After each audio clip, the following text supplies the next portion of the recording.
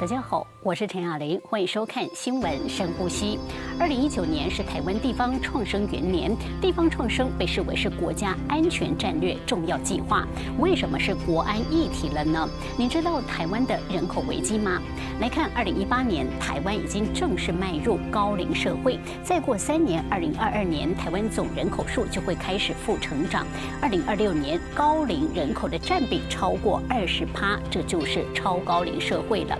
不过是七年后的事，然后隔年台湾人口红利就会宣告结束。到了二零三四年，全国每两个人就一个人是超过五十岁的。到了二零三六年，十八岁大学入学年龄人口开始持续低于二十万人。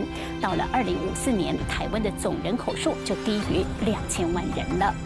而不只是总人口数减少，台湾人口也过度集中在都会区，台湾的城乡失衡会越来越严重，怎么办呢？国发会推动一连串的计划，期待青年回乡创业，以带动在地发展，也让大都市减压。但是返乡创业又要带动地方发展，这要历经多少刻骨铭心与众志成城呢？今天我们就要来看这些感人的故事。首先来看这位。朗道伊娜何培军，他十九岁就回到竹山，贷款千万，把百年老宅改建成民宿，但也因此负债累累，差点活不下去。于是他开始积极写信给南投市文化局寻求支援，后来甚至连环保音乐家马修·连恩都亲自来住宿，感受山上美景，感动之后写下《天空的院子》这张专辑，入围金曲奖，使得这个差点倒闭的民宿终于起死回生。何培军开始积极。推推动竹山的地方创生计划，他租下镇上濒临拆迁的老台西客运站，变身竹山的文创据点，更到处游说与帮助有意返乡的竹山年轻人创业。透过大家一次次的脑力激荡，协助这些创意十足的新世代找寻商品定位跟外销出路，像是传承父亲口味的无添加手工包子，还有传承三代的竹艺工厂后代等等。现在总共有七家。像是这样饶富竹山特色的新创商品，成功结合在地资源与物产，让已经凋零的产业有了创生的契机。这两年竹山人口外移终于趋缓了。来看这一群竹山青年自立自强，抢救故乡小镇的故事。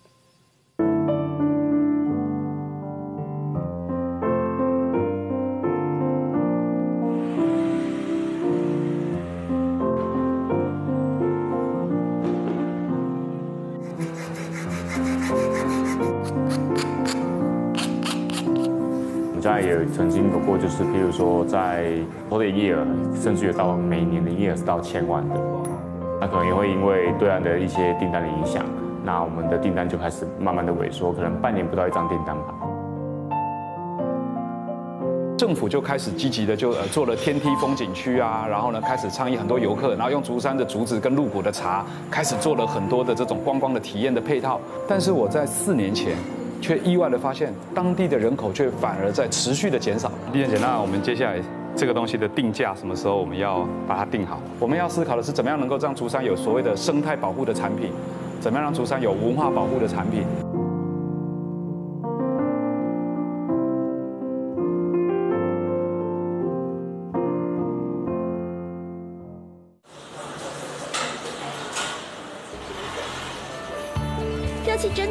香扑鼻，刚出炉的包子，白胖 Q 弹，色泽鲜艳。轻轻拨开，黑糖馅料爆浆而出。如果想吃点在地竹山味，这个蚵仔汉鸡包，千层堆叠，错位有致，用的都是在地的小农食材。一层蚵仔，一层韩鸡，可得规规矩矩排好队。这时快手下刀，切成三段。这是。爸爸小时候都帮我编辫子，所以就是为了怀念爸爸，就是像编辫子一样，然后把馒头给编起来。她是老板娘曲家朵，满脸甜笑的背后暗藏洋葱。几年前，她离家到台中工作，成家立业，还有一份薪水优渥的秘书工作。但从小最疼她的爸爸却突然中风，卧床不起，就觉得说，从小父亲也是对我们都很疼爱，然后想说，在他最后。这一段路的时候，我希望我是能够在他身边陪伴他。说服老公返乡创业，这时两手空空的曲家朵想起小时候爸爸常常做给他吃的包子，胡椒扫土剂、一面剂，味道直不自然。于是夫妻俩开始在路边摆摊兜售。我们是一开始在摆摊。然后摆摊的时候呢，就遇到一个年轻人，然后很热情的跟我们讲说，他叫什么名字？他是何培军。一定还有一些年轻人，现在大家都回来竹山嘛。那这个教室是每个月最后一个礼拜五，大家还会聚在一起，一起来讨论遇到的一些困难跟问题，资源分享。在聚会中侃侃而谈，今年四十岁的何培军已经返乡十七年了。想说是诈骗集团还是什么？我们那时候根本连听红院子都不知道。你留在家乡是因为你要创造出市场会接受你的产品，所以你要拼命的让你的产品更有市场性啊！一谈到返乡创业，何培军的双眼发光。原来经验分享的背后，他也曾经有过惨淡的失败。当时是在大二的时候，当时骑着摩托车到竹山海拔一千公尺的山上，意外的发现了这个占地九百多平的建筑废墟。荒废的百年古宅，静谧无言地诉说着曾经美好的台湾文化。当时才十九岁的何培军深受震折，他做起天马行空的大梦，不如在这里干民宿吧。大部分银行的行员翻开我要创业的计划计划书，翻开第一页，看到他的破房子要整修，第一句话。啊！你叫少年，干免找较正经的慷慨啊！力排众议，贷款千万，上山圆梦。他亲力亲为，独成民宿。开幕的第一个月做了八千多块，每个月缴贷款要缴六万多，我的户头花到剩下十二万多，撑到第四个月还收到银行要跟我查封的通知书，被现实狠狠打了一巴掌。但你医馆出身的何培军却从来没想过要放弃。写信写给全台湾所有县市政府的文化局的局长，每封信都是亲笔写。局长一看的时候非常的惊讶，后来就因为因缘巧合，就找了马修连恩跟台北宙斯爱乐唱片公司呢，到了我的民宿来入住。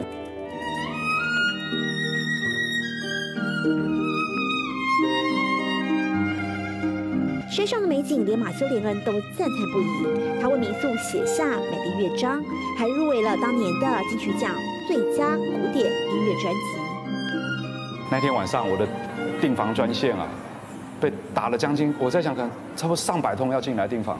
过去乏人问津的古厝翻身，人潮涌进天空的院子，何佩君的梦想终于成真。他知道自己还可以做得更多。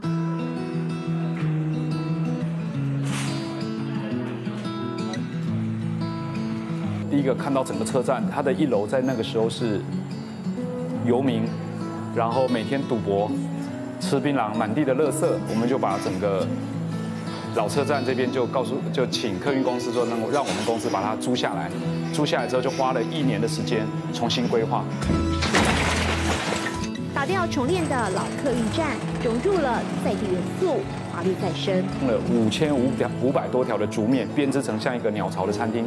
也就是我们把手工艺变成了建材，对，然后让它空间产生了手工艺的教育的意涵在里面。然后第二个呢，就是餐厅做了一个比较简单的一个概念，就是尽量农夫出什么菜，我们就出什么样的菜单，尽可能跟当地的小农能够合作跟连接。何培军的概念很简单，观光带进的人潮要结合旅创、文创与农创。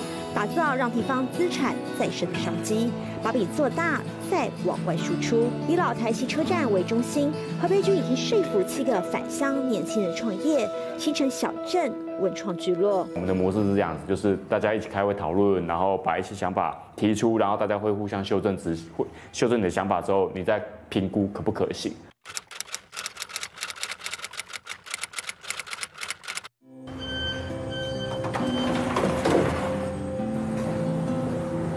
那时候我妈就问我说要不要，就是你们要有没有想要回来，如果没有想要回来的话，那就是工厂关掉这样子。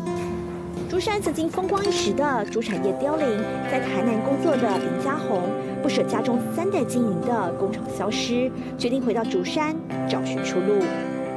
那时候有一个民宿业者跳出来就说：“哎，我一个月啊，我们每年的游客是两万人，那你可以帮我开发这个。”房间背景嘛，那时候其实碰到困难，就是台湾没有人做过竹子的牙刷。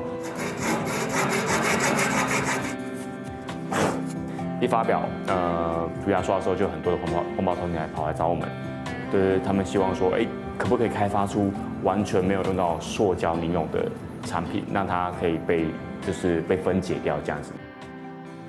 丢了上万只失败的竹牙刷，终于研发成功，没想到意外招来环保与文创商机。竹制牙刷材质特殊，透过镭射喷字，还能量身可制化。环保这件事情之后，它已经不再像是以前，只要大家做好垃圾分类，就有办法拯救地球，好像没办法。就是你必须要从你自己的生活习惯去做起的时候，就它就已经开始慢慢的在改变改变大家的消费习惯。这支台湾独一无二的主牙刷，现在已经外销到日本、香港，一个月少说卖出三万千支。过去二十年来，这个人口日渐流失近一成的小镇，近两年外移也终于趋缓。竹山的小镇经验，成功用创意翻转地方再生活水。看到自己家乡变得这么年轻有活力，再怎么辛苦也都感觉值得了。继续，我们要走访新北市的西南方三峡跟莺歌这两个相邻的小镇。过去这里是河流汇聚而兴起的老城区，曾被称为三英地区。长久以来，三峡因为盛产蓝染茶叶，而莺歌以陶土闻名，因此造就了茶染陶产业的汇聚。不但成为北台湾的经济重镇，也培养出很多技艺精密的职人。但曾几何时，随着青少年人口的外流，产业凋零，三英繁荣景象不再。终于这几年出现变化了，三英分别有青年返乡创业，他们拥有创意又懂行销，对家乡更是充满热情。像是有志陶第四代传人，把陶瓷工厂打造成博物馆，推出各种文创商品，像是这个热水倒进去就会变色的杯子，美美令人惊艳。还有各式各样的陶艺体验活动。都成功吸引海内外游客的造访，还有人不忍三峡的肥皂工厂倒闭，不但回乡改造，还研发出更多文创商品。而为了地方创生，甚至租下废弃的老医院，为艺术家打造平台，结合职人技艺跟教育，让更多三峡孩子认同自己的家乡而愿意回流，也让老城区风华再现。不过这也是日本传来的一些。技术啦，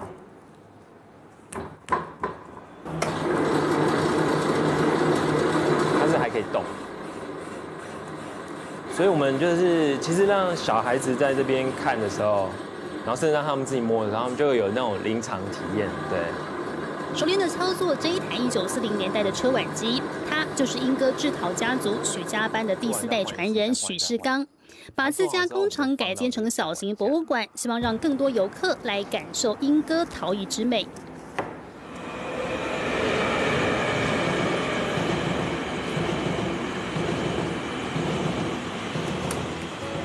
许家的瓦窑从阿奏的年代就开始运转了，在一九五零年代的全盛时期，莺歌陶瓷厂多达五百家以上，有六七成的居民都靠陶瓷吃饭。到了第二代，祖父许兴旺搭上经济起飞的顺风车，从烧瓦片转型做饭碗。像这个是真的是传统的，这是那时候大概最后一批民国五十几年烧的，所以看到颜以前的那个颜色色泽，这是古董，对。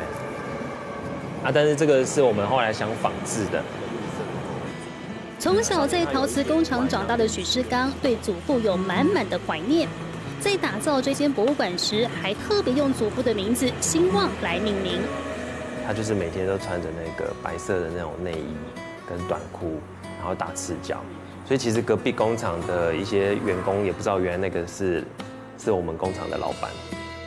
祖父凡事亲力亲为，辛苦撑起一家生计。但传统产业面临新科技竞争激烈，就得转型。当年许家从饭碗转型做瓷砖时，祖父烧坏了十九座窑，也烧光了毕生积蓄。后来是阿妈典当嫁妆，花了十万元买下三张写满化学成分的瓷砖配方，才度过危机。民国五十四年十万台币可以，当时应该可以买到台北现在这种信义区可能一栋到两栋房子的这种价值，所以其实还蛮珍贵的这个这样子的釉药配方。走在博物馆的时光隧道，看着许家陶瓷发展九十多年，就像是莺歌历史的缩影。其实许世刚在以前根本没想过自己会接手家族产业，后来跟着爸爸到大陆发展，但人在异地还是心系家乡。老街其实最令人诟病的是，大家都说，哎，老街买不到属于真正自己英歌台湾自己的东西，所以我们就看到，哎，对啊，为什么没有这样？然后又看到我们都在大陆做的东西，然后觉得我们应该回来，就是深耕这个地方，然后让就是这个产业有没有重新复苏的可能。历经陶瓷产业由盛而衰，第四代的许世刚不希望英歌的陶瓷文化就此没落。二零零四年，他回家乡打造新品牌“兴旺集瓷”，希望靠文创为传统技术注入一股活水。将热水倒进杯子，仔细看，杯子上的灯笼突然变成红色。当年为了帮新北市设计伴手礼，许世刚和团队绞尽脑汁，利用一种可以变色的涂料，开发出各种变色杯。还不知道它是什么？对对对，然后加热水之后。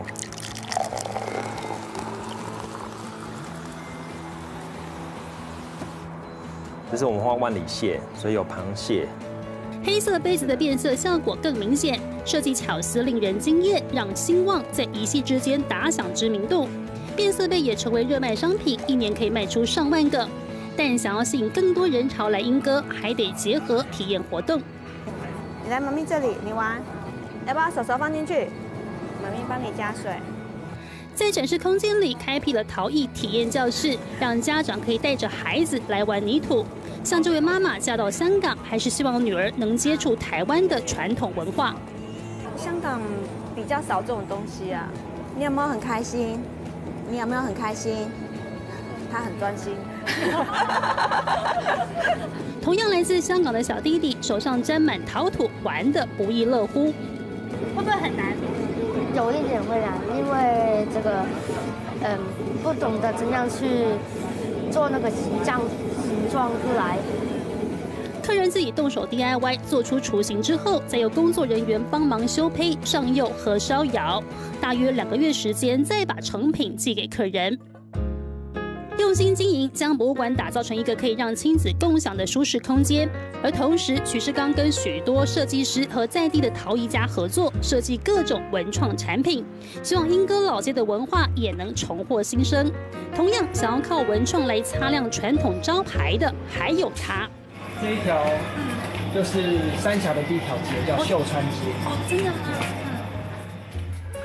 甘乐文创的执行长林俊成是土生土长的三峡人，他带着我们走进三峡的小巷子，来感受三峡在地人情味。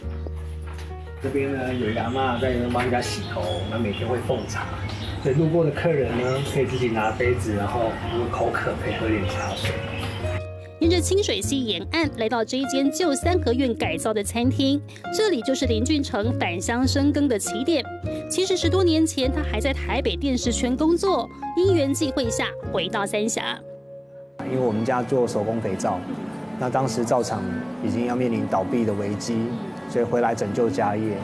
他也很幸运的在前几年，就是返乡前四年就很幸运的把工厂治理好，然后也有不错的成绩。短短几年，林俊成就让濒临倒闭的肥皂工厂起死回生。但他并没有以赚钱为置业。回到家乡后，看到三峡的问题，认为自己应该投入更多时间资源，为家乡做更多事。二零一零年，把这间老三合院打造成甘乐文创的基地，结合在地资源，设计一系列的文创商品，连手工面线都能充满文青风。我们三峡有一个手工面线的师傅，很厉害。就帮他重新设计了他产品的包装，然后帮他把这品牌的故事把它写进来。透过这样的方式，我们也运用在我们的食堂里头，把他的产品用在食堂里头，让来的客人可以亲自吃到他做的面线。换上新包装，质感立刻升级。林俊成知道，好的商品也得靠行销才有商机。他脑子动得快，连鞭炮屑都能回收再利用。回收的炮屑，我们就请纸厂。帮我们做成纸张，然后用这个回收的泡纸，再做成一些文创的商品，像这是玉手，那也有红包袋。但林俊成的梦想不是只有搞文创而已，他更希望能推动地方创生。租下了三峡有着七十多年历史的爱玲医院，在里头打造一间又一间的工作室，让三峡在地的艺术家有更多舞台。那像这样轻轻的敲就好，不必太大力。做精工不只得心细，还得有一双巧手。这门技术现在越来越少人学习，但游客一走进来都会想要 DIY。当他们做好以后，他们也会很高兴，哎，自己可以完全对对进攻都不认识的，居然可以把这个戒指啊，还是手环这个把它做起来，很高兴这样。不只希望三峡职人精神能传承下去，林俊成也提供一个媒合平台，让三峡的孩子能认同自己的家，提供多元的就业机会，希望吸引更多青少年回流。同时也希望说，以后我的孩子如果也留在三峡，在这边长大的孩子是能够留在这边生活的，就一直跟家乡的文化啦、产业是非常紧密连接在一起的。啊，我想这种种子放在心里面，其实会萌芽，那对于这块土地的感情才会越来越深厚。担心三峡面临社区凋零、产业流失，林俊成一方面做餐饮、推美食、行销观光，二方面办教育、设计艺文活动，多角化经营，希望三峡文化价值能华丽翻身。传统特色只要注入活水，依然会历久弥新。继续来看渔业，宜兰南方澳这里是全台四大渔场之一，极盛时期是在民国六十年代，当时港口停满了渔船，老一辈的人这么形容着，说这个船呐要进渔港卸货，光是等待的时间，船上渔货就臭掉了。那个时候的居民多半从事捕鱼的工作，像是这位老船长吴阿水，十五岁就开始讨海生活。到现在七十三岁，想退休了，但两个儿子留在大城市工作，青壮人口流失，小镇没落，许多老船长找不到人接班，怎么办呢？他们在地方文史工作者还有政府的辅导之下，开始推广一日淘海人体验活动，渔船载游客出海捕鱼，了解海洋生态。老船长也成了最好的向导，重新找到自己的舞台。同样为传统注入活力的，还有宜兰壮围乡刘汉。龙与杨光瑞不怕宜兰冬天的水很难养石斑，十五年前来到这里开始养起石斑鱼。两个台北长大的都市小孩一开始根本什么都不懂，曾经还让整池的鱼苗都死光光。后来靠着慢慢摸索，发展出一套适合在地的养殖心法，不但打破了台湾石斑鱼跨不过浊水溪的神话，还让壮围的废弃鱼温活了过来。来看他们怎么办到。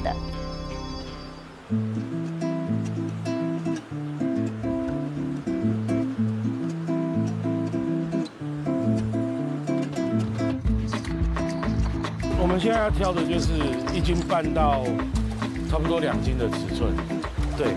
那这个有些是宴会在用的。收访的时候手也没闲着。四十。比如说隔壁池刚好是养不足的，或者是过大的，我们有挑到这个尺寸，就会顺便丢过去。一到刘汉龙的手，每只龙虎石斑鱼有几两重，完全逃不出他的法眼。抓久了，其实我们用手大概称就可以知道了。那有时候只是怕要再确定，所以还会再过磅秤。那一般来说，其实误差就差不多两两左右。这个差不多十二十三。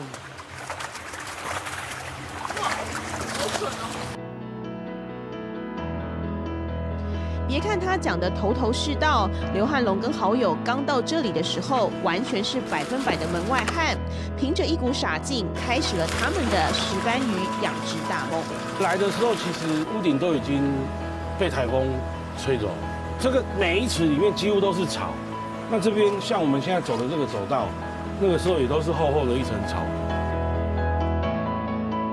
十五年前，刘汉龙来到壮围的时候，到处都是废弃的余温，而且宜兰冬天寒冷，石斑鱼需要更长的生长时间。一开始也吃了不少苦头，曾经整池的鱼苗死光光，几百万资金血本无归。有时候晚上做梦会梦到说，哎，鱼是不是有死掉？然后还是说，哎，突然跳电。正常的程序，我们会经过室内越冬池，先训饵。那等到它吃饵料稳定以后，然后再把它放到室外的池子。他们发展出一套适合在地的方法，不但引进海水养殖，也依石斑鱼的生长阶段分室内或室外区域。看着他们越来越有心得，不少人也有样学样，让壮围上的鱼温逐渐找到了新生命。我们把这个场所弄起来以后，那大家有看到成绩，他不可能让他自己的池子继续废弃下去，他也想要让他的池子有利用的价值，所以那就会动起来。不止废鱼温活化，要在市场上拓展竞争力。刘海龙的伙伴杨光瑞还想了一个办法，就是借由休闲区吸引都市人以及创意料理来推广，但没想到半年就经传收摊。那时候就是因为生意真的很不错，预约的人来参观、预约吃东西的很多，造成被检举说你农地没有农用的一个问题产生。这次失败的经验没有打倒这对哥俩好，杨光瑞开始在台北找店面，他主攻行销，而刘汉龙则是顾好宜兰的养殖场，分头进行把石斑鱼给销出去。将石斑鱼煎得滋滋作响，淋上莲藕粉汁，这道料理的灵感来自于传统小吃鹅阿森。把石斑鱼用豆皮包起来，烤得又酥又脆，飘出浓浓的法式风味。颠覆石斑鱼只能够清蒸。杨光瑞与主厨两人两年来就窝在这五平不到的厨房，想破头研发创意的料理，希望石斑鱼不是只有喜宴桌上才看得到。奖金来年现在已经比白菜鱼还要便宜。嗯，那你你你就你会觉得说辛辛苦苦养的，其实。它的鱼肉是那么的好，但是它的价钱却那么的差，都是受外销大陆的控制。那何不把我们自己的鱼，在我们自己的都市里面发展的更多，让更多的餐厅去使用？对，最起码我目前现在我不用担心我的批发，因为我自己的餐厅就可以慢慢去去做推广，然后消化掉。啊，这个都已经处理好了。然后像我们鱼头帮它处理完之后，它这个回去可以直接熬汤。我让它腹部的地方也可以去做一个烧烤或者是煮鱼汤的食材这样子。产地直送到餐桌，渔温不能转型为休憩区，反而让杨光瑞更坚定：宜兰做养殖，台北做推广。而要在南部被垄断的市场里打出知名度，得先让消费者认识他们。宜兰班这个三个字，让大众知道，其实对我们来讲是一个很重要。因为很少人知道宜兰有养石斑，哦，一般大家的一个概念是宜兰就是在屏东。我觉得推广这条路要做，但是早上那么难走的话，我还是回去养鱼好了。真的，这个真的，我觉得我觉得养鱼我会比较快乐。这两个戴巴吉娜的努力，让段维香慢慢找回昔日北台湾养殖重镇的光景。镜头再转到南澳乡，这里是全台四大渔场之一，但是渔业逐渐没落。在转个弯之后，帮老渔夫们找到出路。你做是啊，看头前有船啊，无船啊，跟跟跟人相离。啊啊，看山呐，唔当去山，在山顶，咱家己要注意。手握船舵，动作再熟练不过。一望无际的大海，就是五洼水的第二个家。十五月开始有钓鱼啊。啊，十五月即马现主席七十三，掠过六十年。四十年过去，荣景不在，许多像吴阿水一样的老船长找不到人接班。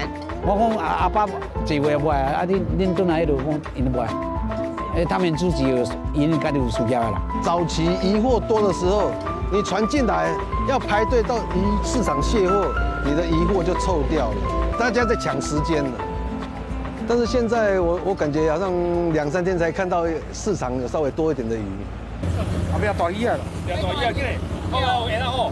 有鱼！哇！会飞起来哦！它已经没有力了。都被整大了，完蛋了！耶！大鱼上钩了，游客们抢着拍照留念，既新鲜又兴奋。还不错，钓了三尾。然后再加一个河豚，有三个是可以吃的，要带回家煮汤。游客们搭的就是五阿水平时捕鱼的渔船，透过一日体验的活动，为讨海人找到新可能，也提高价值。可以发现啊，海鲜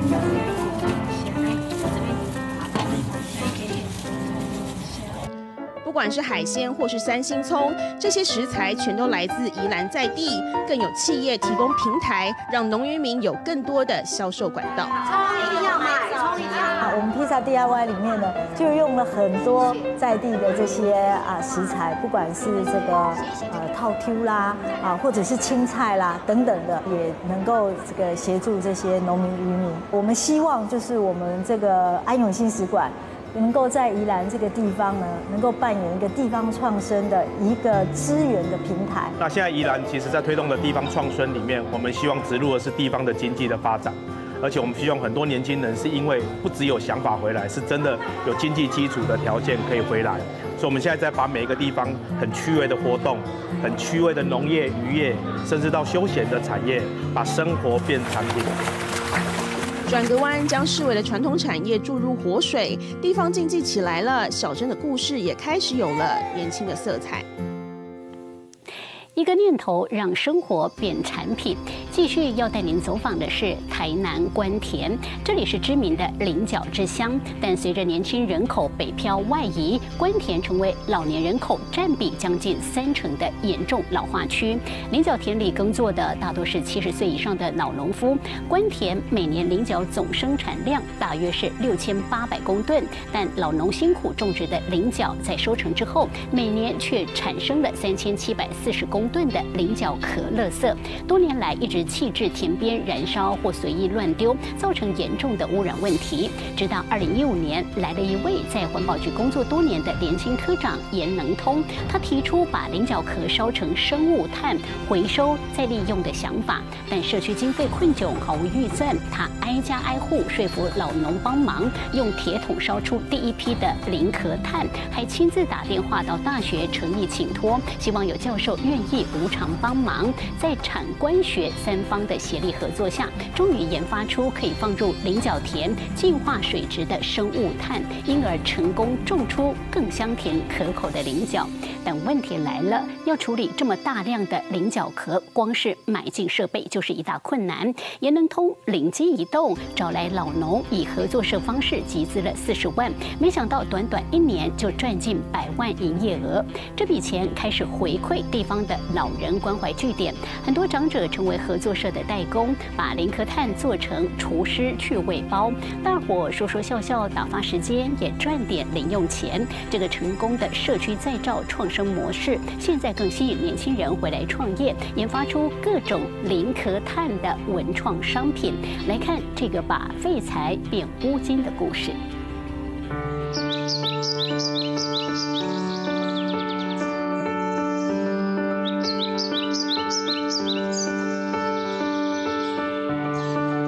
阮关田区的这个菱角田，哦，一这数量拢面积是这个五六百家。阮这个菱角较较早以前啦吼，是拢乌白车乌白倒，现在车现在倒，有多倒有多啦倒啦。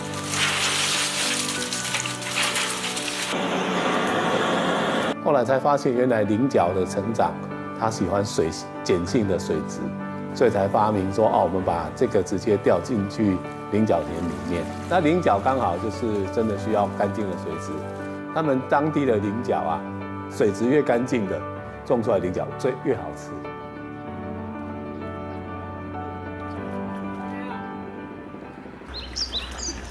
四月了开始栽啊，咱国农历农历的四月。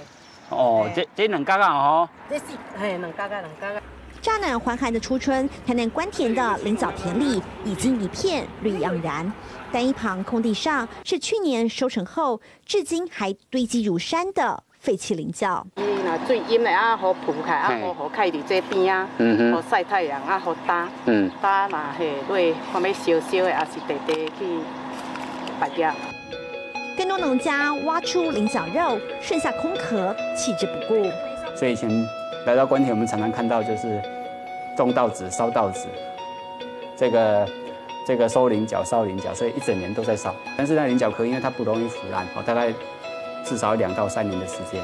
烟雾弥漫，臭气熏天，这是过去几十年来关田农民的生活日常。直到二零一五的一个九月份，哈，我们因为我刚来，所以会办了一些社区营造的课程，上的课叫做“烧炭救台湾”。一听到农业废弃物可以烧成生物炭循环利用，当时四十五岁的年轻区长严能通，在预算不足的窘境下，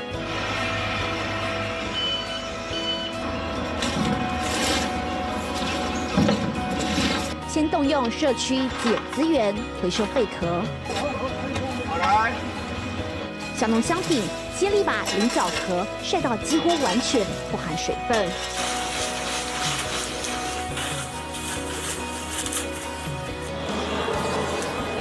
因为一开始没有钱嘛，所以我们就是请里长去帮忙找那个废弃的铁桶，利用科学的原理，就是包括烟囱效应、近期的一些效应哦等等，他就自己烧起来了。一路摸着石头过河，但要做出可回收再利用的生物炭，两手空空的他只能厚着脸皮到处找资源。啊，他就跟我讲了一大堆之后，就跟我说没有钱。可是想想。啊，我也是农家子弟啦。这个就是要测比表面积嘛，嗯，那这个就我们随时帮你做完就可以了。嗯。同样出身农家的陈大教授林宏平，一想到可以改善农作环境，连酬劳都不领，立刻挽起袖子做事。我们就把它打细之后，放成这样一个滤材里面，当成是一个咖啡杯的这样子的滤材，然后直接把这些有燃料的溶水溶液。滴上去之后，你可以看到它滤出来的颜色就几乎没有颜色了。林宏平意外发现，磷壳炭的孔洞底表面积极高，除臭净水力比市售的趣味炭高出约百倍。这个发现让研发团队士气大振，他们更设计出从上方点火、两侧进气的烧炭方式，从上到下压缩闷烧，不用瓦斯就能达到千度高温。环保又省钱。接着急速加水降温后，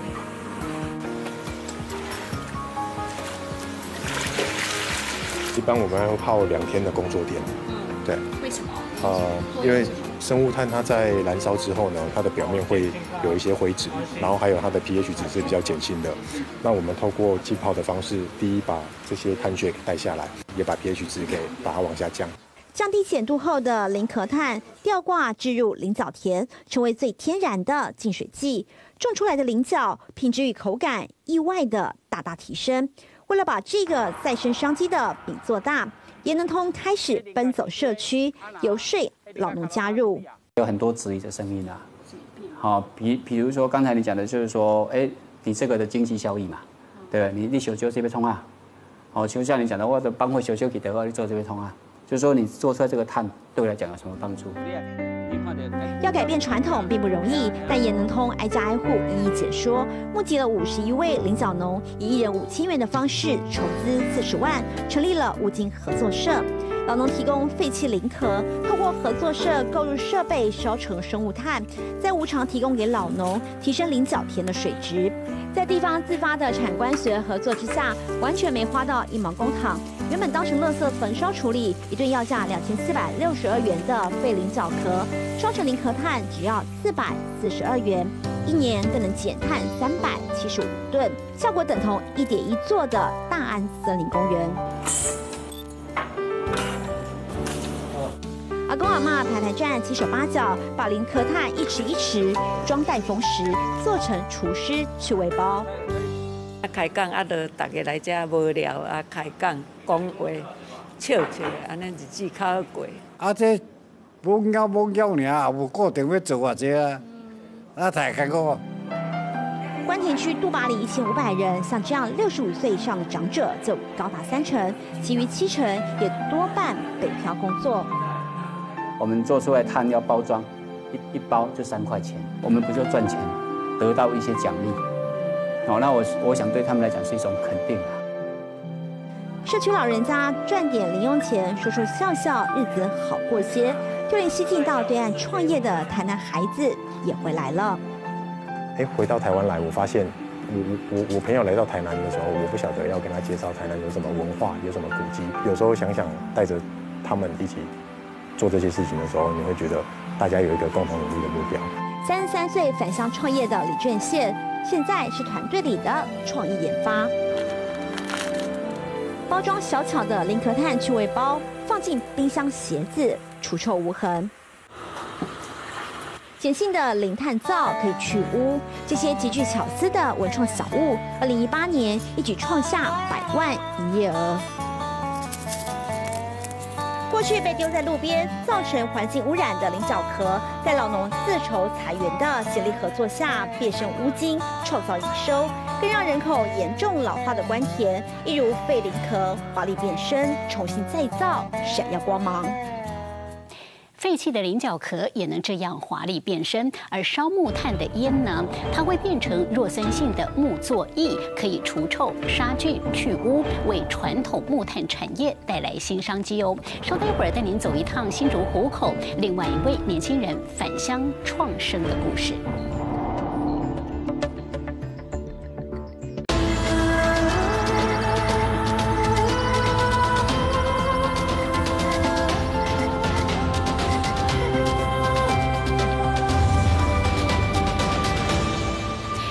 继续收看新闻深呼吸，地方创生翻转台湾的故事，继续要来到新竹湖口。这里偏山区，林业发达，早期很多人做木工、烧木炭。这位清华大学科技管理研究所毕业的陈伟成，从小就在这样的环境长大。二零零五年，家里工厂采用工研院技术移转的方法，发现烧木炭的过程中会产生烟，把这些烟收集起来，会形成一种木作液，因为木作液。是弱酸性的，可以中和臭味，所以具有很好的除臭、杀菌跟去污的功效。但是当时长辈不懂经营，惨赔千万。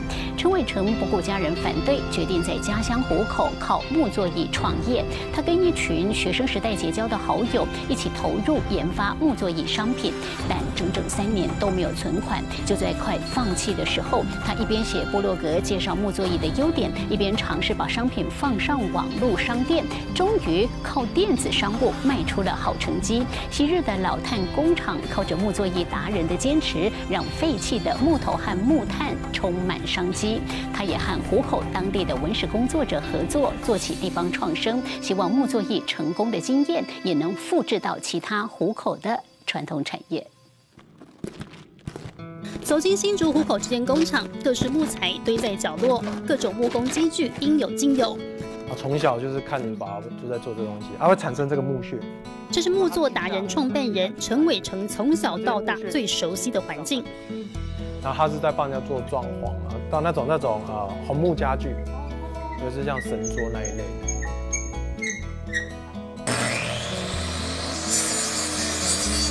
陈伟成的爸爸做木工五十多年了。机台运作发出的巨大噪音和锯木材产生的木屑粉尘，他们早就习惯。另一头，陈伟成的妈妈弯着身躯，忙着整理木炭，他不顾手弄脏，立刻上前帮忙。哦，这个从小做到做到大。陈 伟成常常想：难道卖木炭做木工真的不能翻身吗？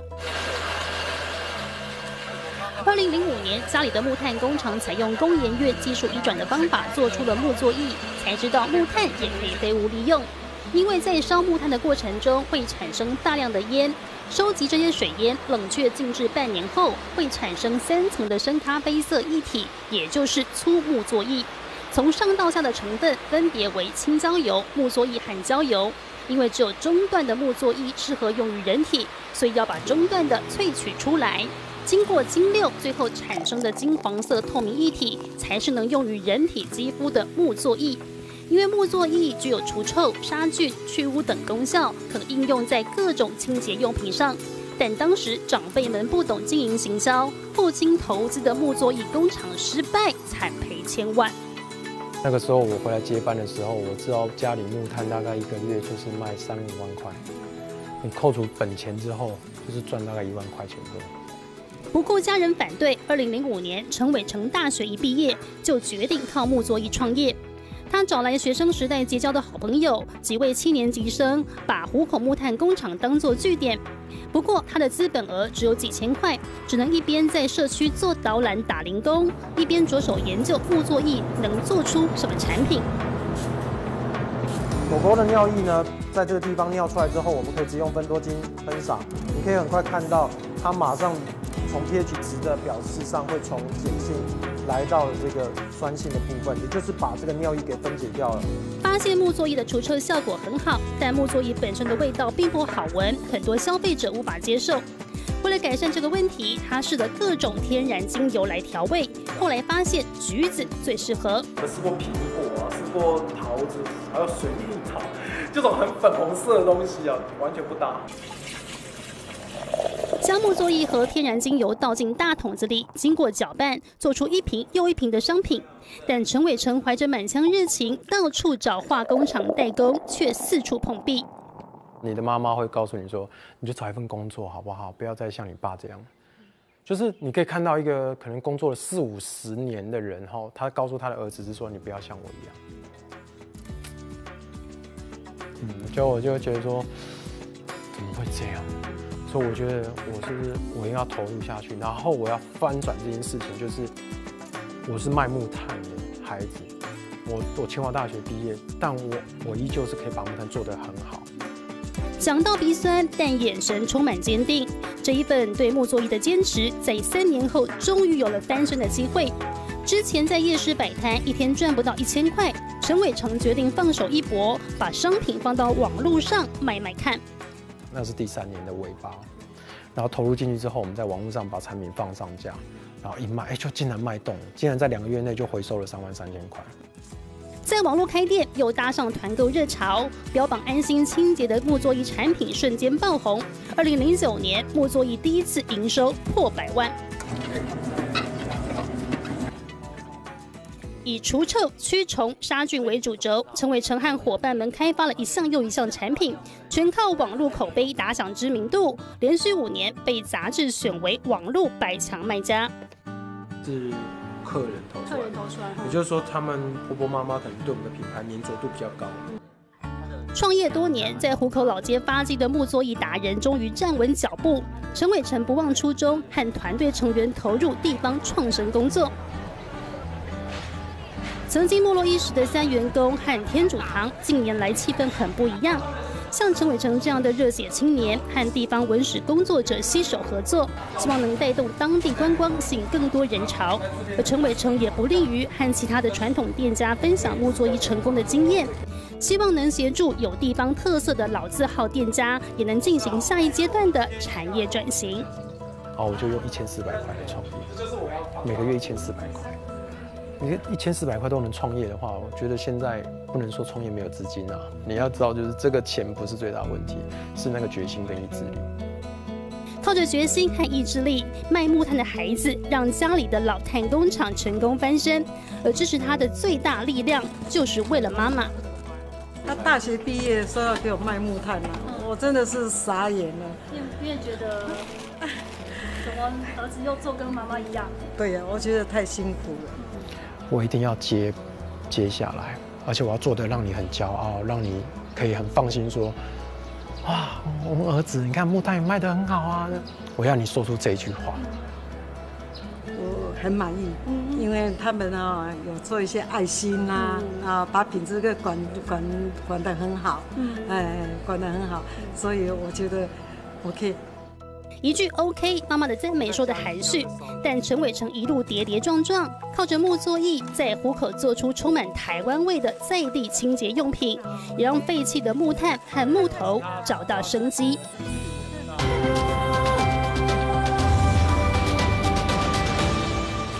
地方创生翻转台湾。今天我们从南投竹山、新北三英、宜兰壮围、台南关田，一直到新竹湖口，看了许多年轻人返乡创业、推动地方创生的故事，内心真是有满满的感动。台湾不能再失衡下去了，地方之美、地方的活力，也需要更多人一起投入，让台湾更均衡的永续发展。今天非常感谢您跟着我们一起新闻深呼吸，我是陈雅玲。我们再会。